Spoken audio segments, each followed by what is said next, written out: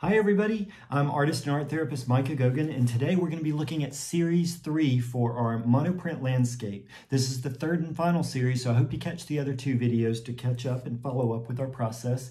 Today we're going to be using a marsh scene and we're going to be using the three color process using our primaries and we're going to do one color at a time using the subtractive method which is different from the other two videos that we've done thus far. So we have a ghost print and a saturated print with a little bit of metallic embellishment. So we're building on what we learned from series one and two.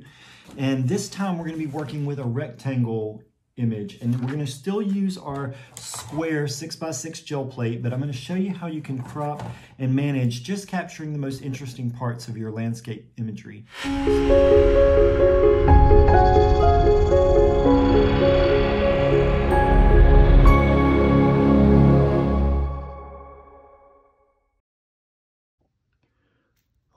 So here we are getting started with our image. Uh, the one difference from this versus the other videos is I'm actually working on a rectangle image. So instead of having to format something to a square, I wanted to show how you could just capture a portion of the image. Now, I've already got my hinge method down. We've talked about that in previous videos, but basically these are pieces of paper that are about an inch bigger than the plate itself, so they're seven by seven, and I've just put a piece of tape on either side so that when I flip back and forth, it covers the totality of the plate and I can just have my print and my ghost print. I've isolated the most interesting section of the composition for what I want to do, and then we're going to be applying this uh, slightly different than some of the previous series with this uh, monochromatic landscape. I've got my brayer. Of course, I've got my 6x6 uh, gel press gel plate. And then I'm going to be using Golden Open Acrylics. And I'm going to be using just quinacridone magenta, benzimidazolone light, and phthalo blue green shade. So just like printer colors, I'm going to use uh, the three basic colors, and I'm going to print color by color. Uh, which is a little bit different. Now I do have a little bit of iridescent gold uh, that I will use at the end, uh, but for, essentially I'm just going to do uh, color by color. So for this, I'm actually going to just put the paint right on the plate, and I'm going to start by using my lightest color. So I'm going to go with my benzimidazolone light, and I'm going to just put what I consider to be like a pea size amount on the plate, making sure that I have no debris. I don't want any of this dried up paint to be on the plate. And I'm just going to go back and forth across the image, gelling the plate with the open, slow drying acrylic paint. And how much is too much paint? If you cannot see your image, then there's too much paint on the actual image. So I'm just going to go across horizontal and vertical until I get a smooth finish where I can see my image underneath. And then I'm going to um, use my silver brush, uh, Bristlon brushes, and I'm just going to be able to remove some of the image away. Now, I'll just keep a paper towel handy for this. I'll dip the brush in uh, a little bit of water moisture and anything that I don't want to be yellow. So for example, I don't see any yellow being in the clouds, so I'm just going to remove that information. And this is the subtraction.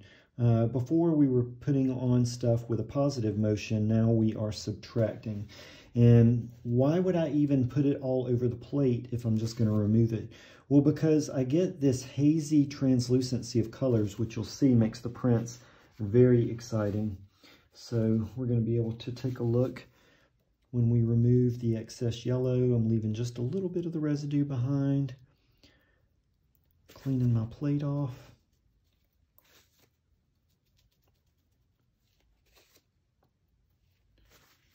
And you can even take, if you know you want it to be crystal clear, you can take your paper towel and just use a finger and take some of that residue off okay? But I want some of it to stay on there. Now, the other thing I'm going to do is the channel for the water. And again, it doesn't have to be pristine, but I am just removing the little plugs for the waterways. Carry that right off. And again, for the larger areas, I might just come in and map it out with a paper towel. Whoop. Sound effects help. And I'm just going to take a little bit of this excess off to make it cleaner, but I do want some of that residue, like I said. I don't want it to be super pristine, So there's a certain amount of not caring that comes along with this, right? Okay, so with that, I have my yellow down and I'm ready to print the first um, print and ghost print here. So I'm to start and just flip my guy over, massage the paper, and then give it a alley-oop. And that is my first pass with my yellow. Then I'm going to do my ghost print. Same technique. Now the paper itself will pull most of the paint off of the plate, so I don't have to clean very much, but I will have to clean my brayer. But there is my ghost and my saturated print of my yellow. Then I'm just going to clean my brayer real quick and come back with a little magenta, a hint of magenta. Okay, so now I'm going to come back with my second color, the quinacridone magenta. And I'm just going to, again, put a pea-size amount on the plate. And then I'm going to take my brayer and again go vertically and horizontally to make sure that I've got even distribution. How much is too much paint? Again, if I cannot see the image, then there is too much paint on the plate.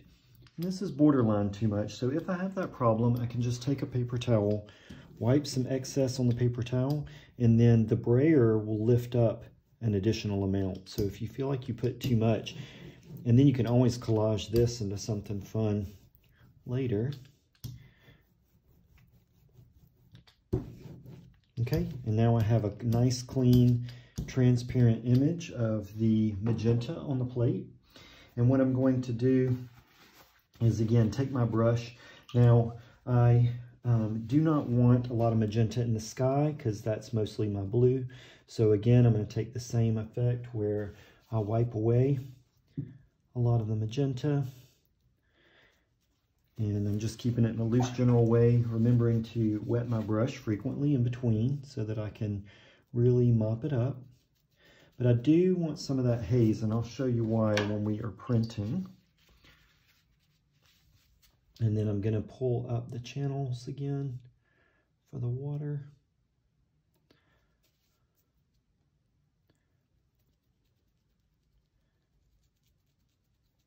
And it's good that I have the transparency of the plate to kind of look through and decide, you know, what I like and what I want to keep as far as the color scheme goes.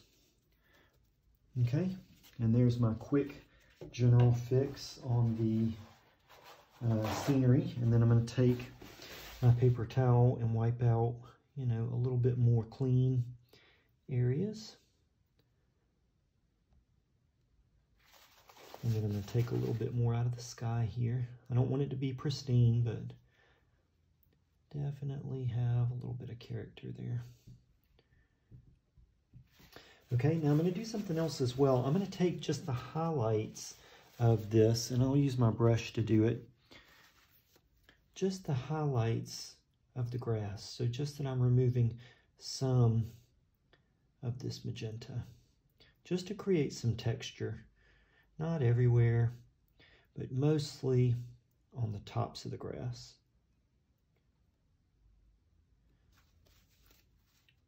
A little bit here in the background.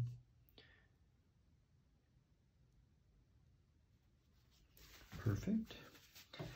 All right, and then I'm ready to print. And because my hinges are set, it should put the registration, meaning the lineup of the image, right back on top where I left it. So I am massaging. This is my saturated print. Once I get all four corners down, uh, alley-oop. Wow. And then I have my ghost print.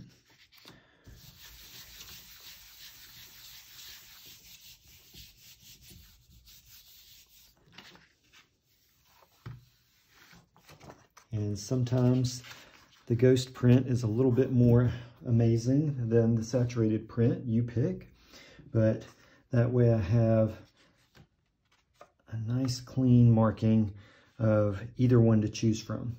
Uh, so now I'm going to repeat the process with my Phthalo Blue. So now I'm coming in strong with my final color. This is my Phthalo Blue. Notice how I did go lighter to darker. Put about a pea size on there. And then again, I'm going to go vertically and horizontally.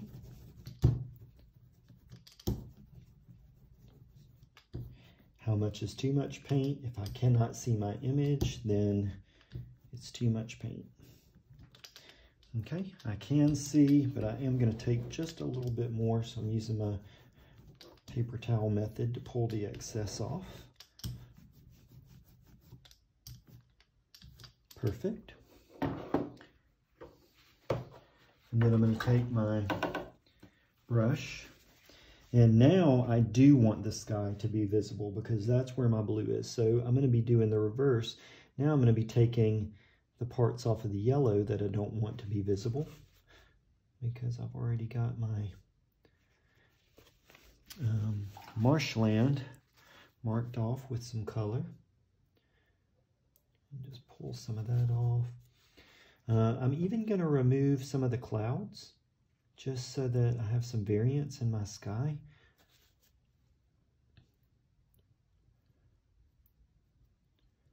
So I have a clouded marsh, so it's solid blue, but then there's also a little bit of you know, energy going on. Let some of my brush strokes really play the essence of the gel plate there.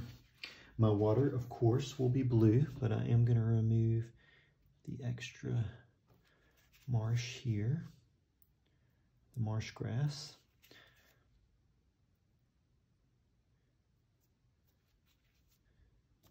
And the colors where all three colors are present, of course, will make like a homemade black. So that's kind of what I'm going for for the edges here. So that I can have a little bit more. And then I'm going to take my paper towel and run around my finger here and just really clean any of the blue, but I'm kind of wiggling my finger around so I can have some energetic mark making. Again, not wanting everything to be pristine, but just taking some sections out. Very playful, very fun, very expressive. Okay, and then I'm going to flip my saturated print first. Here we go. Massaging it down.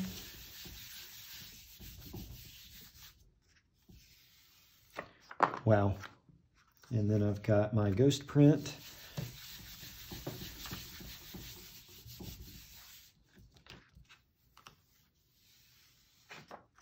Lovely. I've got a saturated and a dark, again, just capturing the square image of that. And then the fun part for the additional is that I can take my gold, because these prints are still wet, I can take a little bit of gold and put it out. This is, again, still the open, the slow drying golden acrylic. And this is the iridescent bright gold, which is a fine color. And then I'm taking my uh, round brush here, which is a little bit more um, controlled. I can do a little bit more fine mark making. And then I can come in and actually embellish right on the print for some additional gold mark making with the grass that gives me that metallic wow factor. Um, and I'm not going to add too much because I really want the expressive mark making of the plate to showcase. So I'm just going to add a little bit in a couple of areas for some additional embellishment. And what I end up with is something like this, which is finished.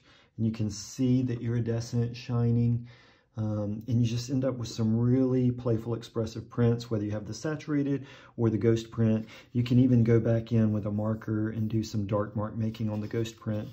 But this concludes our landscape monoprint series. If you're interested in learning more about this, you can join me for one of my online gel press, gel plate classes where we'll have fun and expressive monoprint madness with the gel press gel plate doing landscapes. And uh, you can find that online at micahgoguen.com. We'd love you to stay tuned for more fun and expressive videos uh, from gel press on how to be playful and exciting with your mark making um, and your artwork.